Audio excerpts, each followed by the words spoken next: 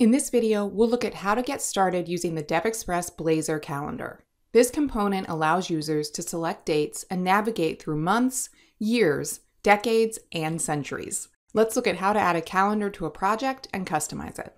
I've already created a Blazor application that is configured to use DevExpress components. Now I add a DX calendar to the page and use the at bind attribute to bind the editor's selected date property to a date time data field that is declared in the at code block.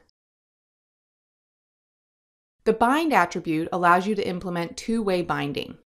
This means when the editor is rendered, its value comes from the bound field. When a user changes the date in the calendar, the bound field is updated. To demonstrate this, I will output the selected date.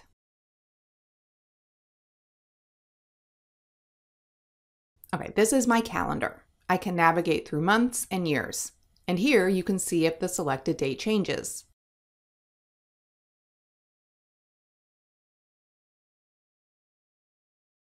As an alternative to two-way binding, you can specify the selected date property and create a handler for the selected date changed event.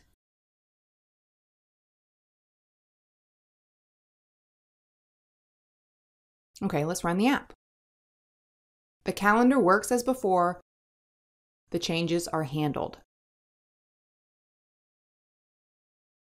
The calendar component allows you to select multiple dates.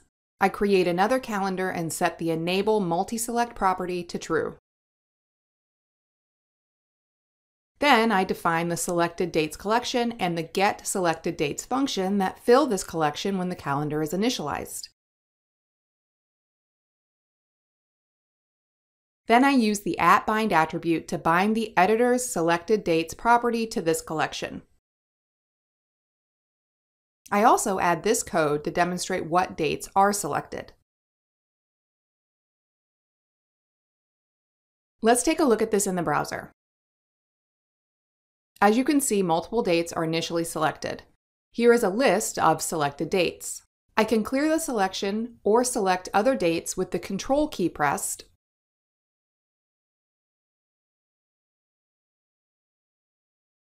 or select a range of dates with the left mouse button.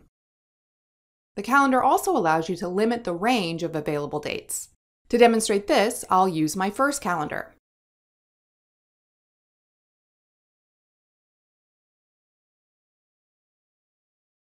I specify the min date and max date properties. The minimum date is January 1st, the maximum date is February 28th. The calendar disables dates that are out of the range and hides navigation arrows for them. You can also disable selection of specific dates based on custom logic. For example, I implement custom logic in the on custom disabled date function. The date property is used to determine the processed day. The is disabled property specifies whether the processed date is available. Now I specify the on custom disabled date function as a handler for the custom disabled date event.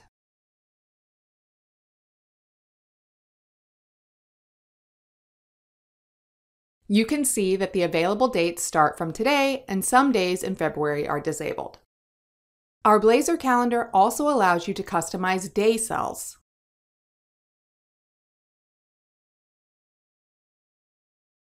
To do this, I'll use the Day Cell Template property. For example, I can customize the text, font, and color.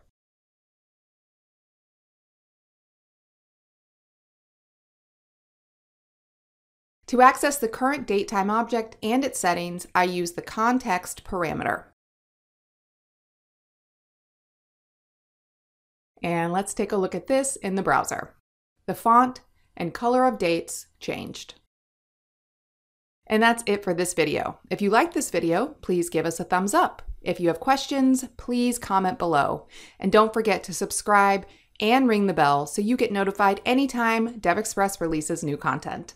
Thanks for watching, and thank you for choosing DevExpress.